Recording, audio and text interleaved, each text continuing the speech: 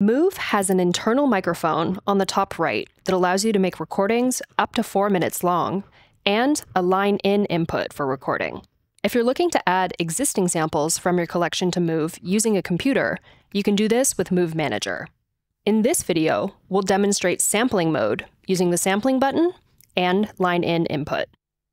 Let's sample this kalimba. I'll press the sampling button to enter sampling mode right away. The device will automatically change to a melodic sampler, and the pad color changes to red to indicate we're ready to record. After clicking the wheel, you can choose the input source. If no cable is connected, you can choose between mic and resampling. The mic option uses the internal microphone, and resampling allows you to sample what is being played back by Move's main output. We'll select the microphone. Next, I'm going to scroll over to the gain section and adjust the gain.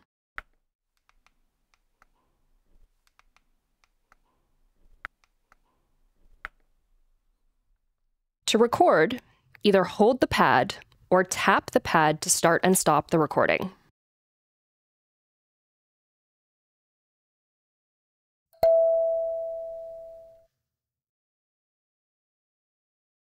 Using the second encoder, I can adjust the sample start position. Let's listen to what we just recorded.